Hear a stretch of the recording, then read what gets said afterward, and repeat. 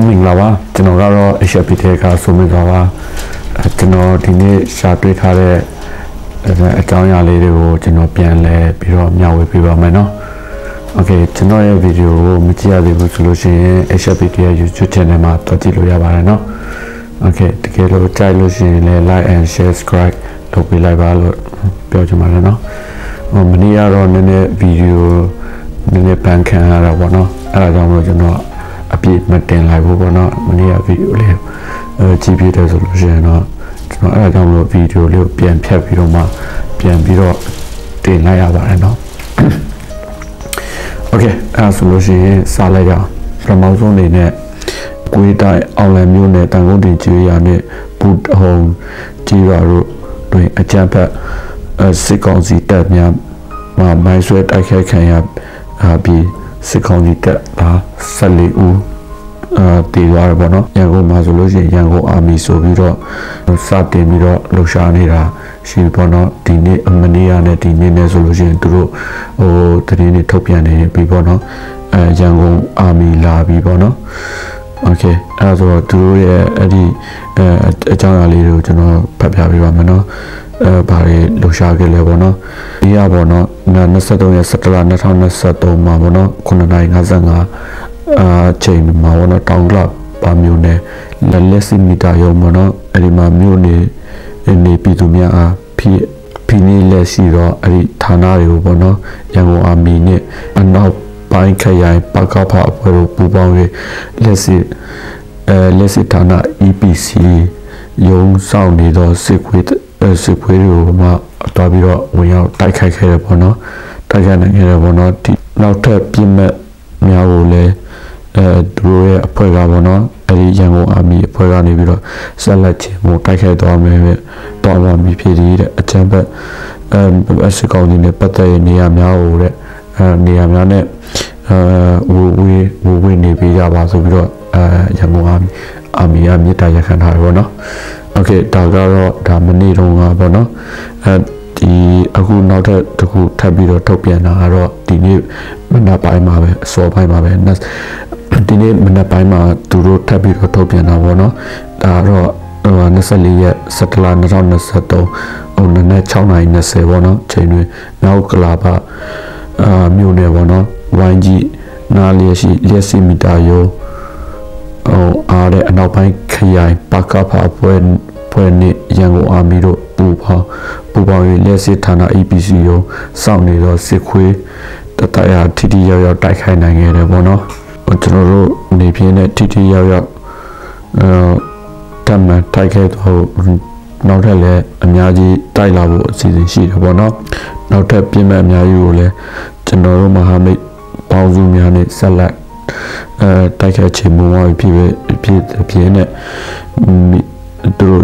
အဲမိဘပြည်သူများအနေဖြင့်အချမ်းဘတ်စစ်ကောင်စီနဲ့ပတ်သက်တဲ့နေရာများကိုပေါ့နော်အဲဝေးဝေးနေထိုင်ပြီးပြကြပါရန်နဲ့မြေတိုင်ရဲ့အခမ်းပါတဲ့ရန်ကုန်အာမီကအဲကြီးညာထားတယ်ပေါ့နော်တနေ့ထုတ်ပြန်ထားတယ်ပေါ့နော်ရန်ကုန်ရန်ကုန်အာမီလာလာနေပြီပေါ့နော်လာပြီပေါ့နော်ဒါပဲဒီနေ့မနက်ဆိုရပဲ အာပဲဒါရခိုင်ဘက်မှာပေါ့နော်ရခိုင်ပေါတော်မျိုးမှာပေါ့နော်စစ်ကောင်စီဟိုတပ်သားတွေကပေါ့နော်နောက်ထပ်ထပ်ပြီးတော့လှုပ်သေးတယ်နော်လူသားတိုင်းအဖြစ်တစားခံဖမ်းဆီးထားသောပြည်သူတရားတရားလေးဦးကိုပေါ့နော်အေးအေးကဒုတိယအချိန်မြောက်နောက်ထပ်အခုဆိုရင်ဒုတိယအချိန်မြောက်ထပ်မံကယ်ထုတ်နိုင်ရတော့ပေါ့နော်အဲ့ဒါမှဆိုလို့ရှိရင်အဲဒီဒီအေရပေါ့နော်စစ်ကောင်စီလက်ထက်ကနေပြီးတော့မှပြည်သူ အယောက်223ကိုကယ်ထုတ်နိုင်ခဲ့ပြီးပါပြီပေါ့နော်ဒါပထမတစ်ခါတော့လည်းကျွန်တော်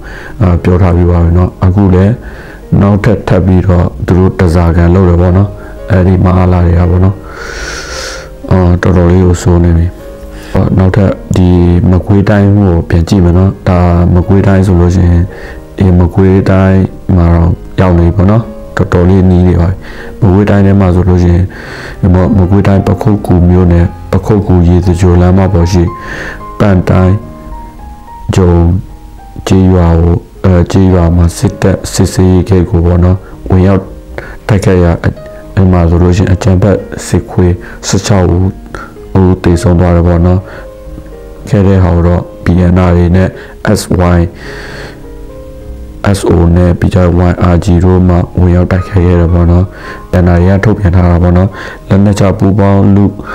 ဇဲဇဲမှာပဲပေါ့နော်အဲ့ဒီမှာတမတစ်တုံညတစ်မှာစီကူလာတော့ကြောင့်အပိသက်အဲ့ဒီဟိုမသိမ့်ပိုက်နိုင်ခဲ့ဘူးပေါ့နော်ဒါတော့ဒါ PN တွေကထုတ်ပြန်ထားတာဒါရကနေပြီးတော့မှဒါထုတ်ပြန်ထားတဲ့တင်ပါနော်โอเคနောက်ဆုံးတစ်ခုအနေနဲ့တော့စကိုင်းတိုင်းကလေးမျိုးနယ်ရှိ အဲစစ်ကောင်စီစခန်းရန်ကြီးအောင်စခန်းတို့ကနိုဝင်ဘာမနေ့ကပေါ့နော်အမနက်ပိုင်းတွင်ပူပေါင်းတက်တပ်ဖွဲ့များကတင်ပိုင်နိုင်ခဲ့တယ်ပေါ့နော်ဒါစကိုင်းတိုင်းကလေးမျိုးနယ်မှာပေါ့နော်စကအဲရန်ကြီးအောင်စခန်းတို့ပေါ့နော်ဒါပူပေါင်းတပ်ဖွဲ့တွေကဝင်ရောက်တင်ပိုင်နိုင်ခဲ့တယ်ပေါ့နော်နောက်ဆုံးနောက်ဆုံးအနေနဲ့ကျွန်တော်မုံငါဝေအကြောင်းလေးကိုထပ်ပြီးတော့အဲပြောပြပေးပါမယ်နော်โอเคဒါကတော့23ရက်17လ2023မုံငါဝေများပေါ့နော် okay ဆိုရင်တခြားတော့ပြောပြမလားမကွေးမကွေးတိုင်းပခုတ်ကူမြို့နယ်မှာ18ပွဲမကွေးတိုင်းအောင်လယ်မြို့နယ်မှာ73ပွဲစကိုင်းတိုင်းခလေးမြို့နယ်မှာ12ပွဲစကိုင်းတိုင်းတမူးမြို့နယ်မှာ10ပွဲစကိုင်းတိုင်းရွှေဘိုမြို့နယ်မှာ3ပွဲရှမ်းပြည်နယ်ကိုကန့်ဒေသမှာ9ပွဲမန္တလေးတိုင်းမြင်းကြံမြို့နယ်မှာ4ပွဲပဲခူးတိုင်းဖြူမြို့နယ်မှာ4ပွဲ စကိုင်းတိုင်းစစ်တွေမြို့နယ်မှာ2ပွဲကရင်ပြည်နယ်ကြာရင်စိတ်ကြီးမှာ1ပွဲ EAO တွေနဲ့ PDF ကြာဆုံးသွားတော့ပြည်သူသူရဲကောင်းများမှာပေါ့နော်စကိုင်းတိုင်းကလေးမြို့နယ်မှာ2ဦးပေါ့နော်